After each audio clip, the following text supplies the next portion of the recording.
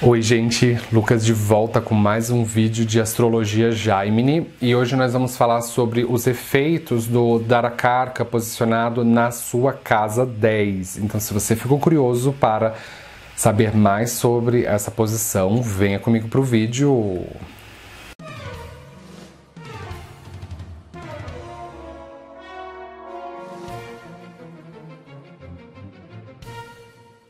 Na astrologia Jaimini, o Dara Karka representa o indicador do seu cônjuge, porque Dara em sânscrito significa cônjuge e Karka é indicador. Então, quando nós juntamos a expressão Dara Karka, é o indicador do cônjuge. E serve tanto se você é homem ou mulher assistindo o vídeo, independentemente do sexo, o Darakarka é a profecia mais delimitada e perfeita para o destino da sua vida amorosa. Você, quanto mais entender seu Darakarka, mais você vai acertar da sua vida amorosa. E hum, qualquer um dos oito planetas pode ser o seu Darakarka, desde os luminares, Sol, a Lua, as estrelas errantes, Mercúrio, Vênus, Marte, Júpiter, Saturno e até mesmo Rahu. Qualquer um dos oito pode ser o seu Darakarka. Então, nesse vídeo eu não vou focar na descrição dos planetas na casa 10, mas sim do que o Darakarka na casa 10 especificamente produz. E hum, uma outra coisa, certifique-se de que você está verificando o seu Darakarka no mapa Rashi, porque quando a gente fala em vida amorosa, as pessoas pensam que é o Darakarka no mapa Navamsha, e não é.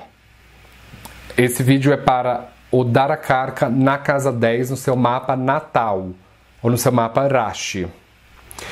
Verifique também o seu mapa Bhava Chalit para o mapa Rashi, o mapa D1. Porque na astrologia védica, o mapa Bhava Chalit, ele é o que demarca a posição das cúspides.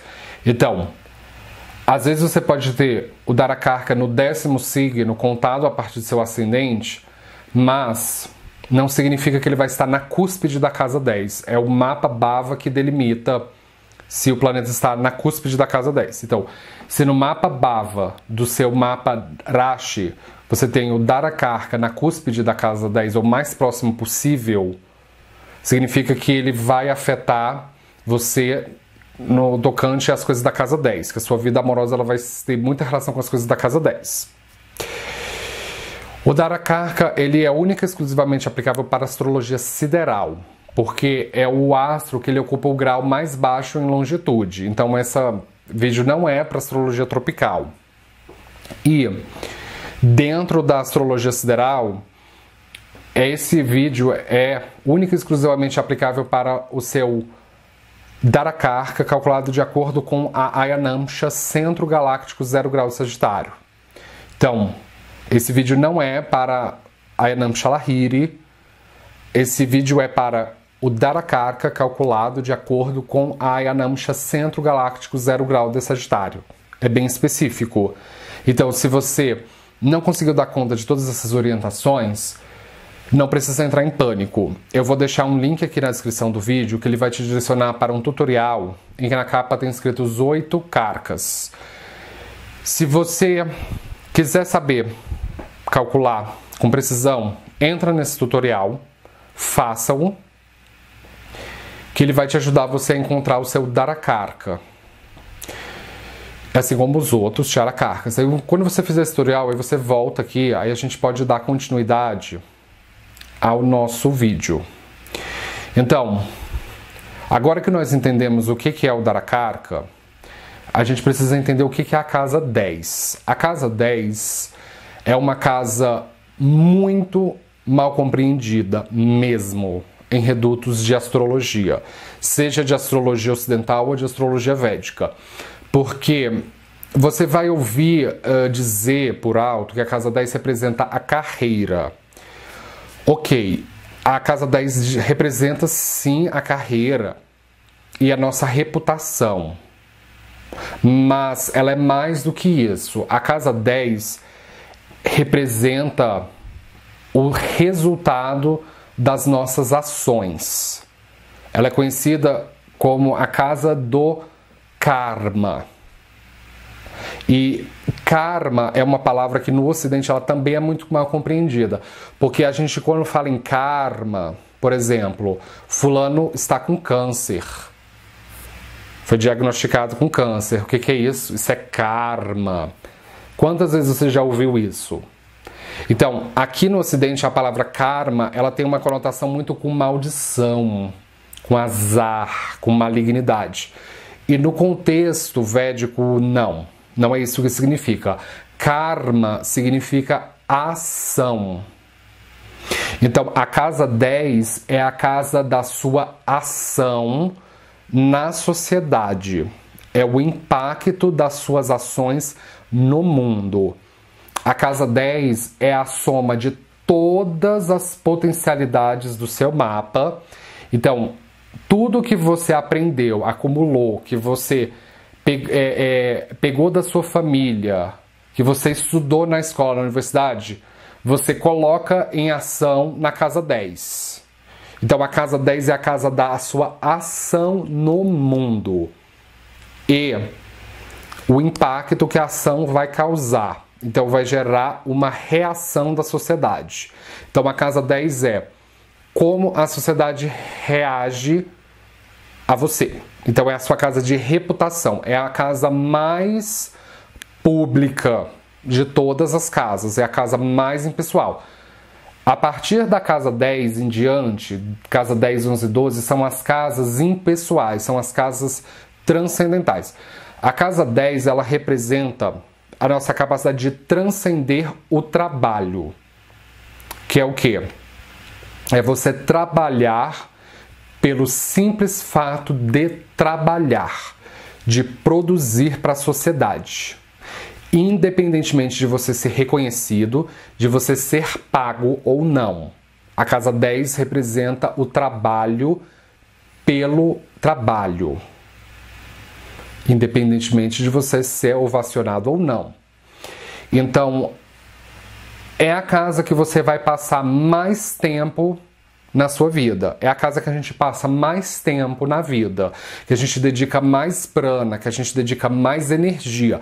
Então, qualquer planeta posicionado dentro da casa 10, ele impacta com muita longevidade e com muita expressividade social o mapa inteiro. Essa é a casa mais potente do mapa inteiro. Então, qualquer planeta dentro da casa 10, ele ganha algum nível de potência, tá? Ah, tudo bem, existem algumas exceções aí, mas de maneira geral, a casa 10 ela traz potência. Então, quando nós trazemos o planeta que representa a nossa vida amorosa, o tipo de parceiro que a gente sente atração, relacionada com as coisas da casa 10, essa é uma combinação que traz um gosto por pessoas responsáveis. Então, a manifestação da responsabilidade, da maturidade é algo que te causa frenesi, é algo que te deixa arrepiado. Então, assim, Mulheres que têm o Darakarka na casa 10, elas vão ser muito atraídas por homens bem-sucedidos, profissionalmente falando. Então, essa é uma dessas, daquelas posições que ela pode dar um casamento por interesses ou, uma, ou um casamento com um propósito de ascensão social ou um casamento arranjado no contexto da Índia. É um, um, um, casamento que seja por. que existem outros interesses sociais ou políticos envolvidos, que não somente o gostar ou o afeto. Então, assim, romance não é necessariamente o que move a natureza amorosa dessa pessoa. Se for um homem assistindo o vídeo, se você for um homem com dar a carca na casa 10, um homem hétero com dar a carca na casa 10, essa é uma posição que ela vai certamente é, atrasar o seu casamento. Porque a casa 10 ela é uma casa upachaya. É uma casa que. Upachaya significa que é uma casa que ela melhora com o passar dos anos, com a maturidade. Então, assim, casamento precoce é muito difícil de dar certo. Então, assim, casamento antes do seu primeiro retorno de Saturno, que acontece por volta dos 29 anos, é muito difícil de dar certo. Você pode até assim nadar contra a corrente e hum, tentar insistir nisso, mas assim a chance de, de, de haver um divórcio é muito alta. Então, assim, sucesso no casamento vem quando você consegue se estruturar, assim, como caráter, financeiramente e assim profissionalmente. Então, o, nós, assim, nos tempos modernos, considera-se até mesmo que a pessoa sai da adolescência por volta dos 23 anos. E você vai ter seu primeiro retorno de Saturno com 29. Então é depois do primeiro retorno de Saturno que você tem um choque de realidade que você vai querer se estruturar financeiramente e profissionalmente. Então você vai demorar por volta de 5 a 10 anos. Então vai ser lá entre 36 e 40 anos que. Um, você de fato vai conseguir ter maturidade para sustentar um casamento. Então, é, é, essa é uma posição que ela traz casamento tardio para hum, homens. Para homens gays, uh, pode acontecer da seguinte situação: se você for um gay passivo, assim, mais feminino passivo, é muito provável que você hum, goste de. que você queira se relacionar com um homem bem mais velho que você. Um homem que ele tenha provavelmente idade para ser seu pai, ou que hum, ele cumpra um determinado papel de pai na sua vida, de financiar os seus estudos. Então, assim, é, pode ser uma dinâmica, como se chama, daddy and twink assim, de um homem mais velho se relacionando com um homem mais novo. Não é necessariamente menor de idade, tá? Mas assim, pode haver essa discrepância. Agora, se você é um homem gay ativo assistindo o vídeo, a, aquela descrição que eu dei lá sobre homens héteros também se aplica a você. Então é muito provavelmente que você vai querer investir na sua carreira para você ter assim estabilidade social, para você impressionar um rapaz bem mais jovem. E assim, para que você possa estruturar esse, essa relação. Então, assim, um, o dar a carca na casa 10, ele traz um, uma dinâmica conservadora no amor. Então, esse conservadorismo ele pode ser um, assim, uma, é uma pessoa que ela é bem ortodoxa no amor. Tipo, é, homens héteros com dar a carca na casa 10, eles vão preferir uma mulher bem feminina, que seja dona de casa, que não queira trabalhar e que ele possa ser o provedor da casa, o chefe da casa. Um, e mulheres héteros com dar a carca na casa 10, elas podem gostar desse tipo de homem. Assim, de, de, de se casar com um homem e de, tipo, o homem, o marido dessa mulher ser a carreira dela. Então, essa é uma posição que ela pode, assim, cancelar uma carreira e a mulher destinar a carreira dela a se dedicar a ser esposa. Então, assim, carreira e amor são duas coisas que não se separam com dar a carca na casa 10. No contexto de gays, também vai ser a mesma coisa. Gays passivos, afeminados são mais novos, muito provavelmente eles podem querer se relacionar com um homem que vai estimulá-los a não trabalhar, para ele ser tipo assim, o, o, o, rapazinho da casa, que vai ser como uma espécie assim de mais submisso dentro de casa, esse tipo de situação. E deixar assim questões de fora para ele, pro, pro parceiro mais velho. Uh, essa é, é, originalmente a casa de Capricórnio. Mesmo que você tenha o Darakarka na casa 10 em outro signo, ele ainda assim tem essa energia de Capricórnio e de Saturno. E Saturno representa coisas mais velhas e experientes. Então pode haver uma carência de intimidade. Pode haver uma, uma, um, uma espécie assim de desligamento do, do, do, do afeto. É uma, é, uma, é uma posição pouco afetuosa para se ter o dar a carga, porque se trata do planeta que busca o afeto do amor, né? Que busca a intimidade. E essa é uma casa muito impessoal, ela é muito ela não é uma casa conduzente para as coisas do dar a carga. Então, uh, a, a falta de intimidade do casal pode ser porque simplesmente eles estão muito preocupados em causar uma opinião pública positiva. Então vai ser um casal que vai ser muito público. Você vai se casar com alguém que é público, que está lá fora, que está no mundo.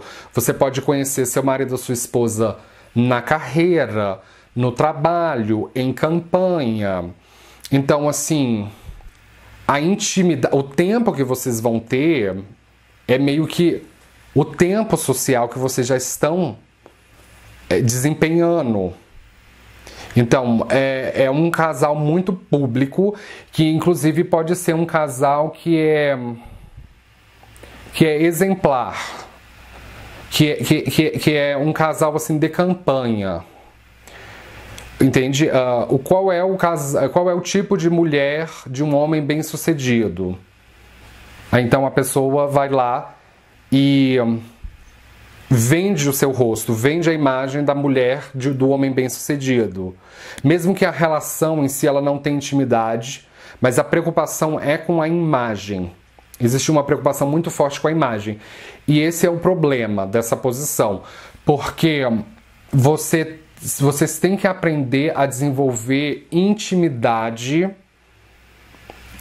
e afeto para que a relação não morra. Então, essa relação ela pode ficar amorfa e estéril com o passar do tempo, ou ela pode ficar uma relação por interesses, em assim, eu estou com você pelo seu dinheiro, ou eu estou com você pela imagem, ou estou com você por questões assim políticas ou sociais, ou pelos filhos. Mas assim, eu não estou com você porque eu gosto do seu sexo, eu não estou com você porque eu gosto de dormir com você. Então, assim, o que estrutura essa relação podem ser outras coisas. Então, é esse o perigo dela se tornar, com dar a carga na casa 10, uma relação amorfa, estéreo, em que não tem é, calor, que não tem afeto tá certo? Uh, assim, é, de maneira geral, essa é uma posição considerada um, um pouco mais difícil para um, sucesso em relacionamento, mas se você conseguir trazer intimidade e afeto e um, se relacionar menos uh, por, com a imagem da pessoa, mas sim amar a pessoa genuinamente pelo que ela é. Se você conseguir amar a pessoa pelo que ela é de fato e não pelo que ela vende lá fora, aí é que a relação ela tem espaço para ela crescer. E assim, e vocês devem transcender o que a sociedade pensa de vocês. Vocês devem. Porque a casa 10 é uma casa de transcendência social. Então, mesmo que seja uma relação muito pública, mas vocês devem transcender o que a sociedade pensa de vocês. Porque se vocês viverem sempre do feedback das outras pessoas ou que assim do que a sociedade pensa de vocês, a relação ela não tem como sobreviver desse jeito. Então vocês têm que um, um, ser autênticos um com o outro, um, gostar um do outro mutuamente pelo que vocês são de fato, tá certo? Então, um, eu acredito que eu cobri a, as coisas mais importantes para essa posição, tá certo? Então, se você é novo aqui no canal, não esqueça de se inscrever, é, de dar um joinha embaixo da tela. Eu posto vídeo de astrologia todos os dias e seja sempre ligado para você não perder nada. Muito obrigado pela atenção e nos vemos na próxima. Tchau!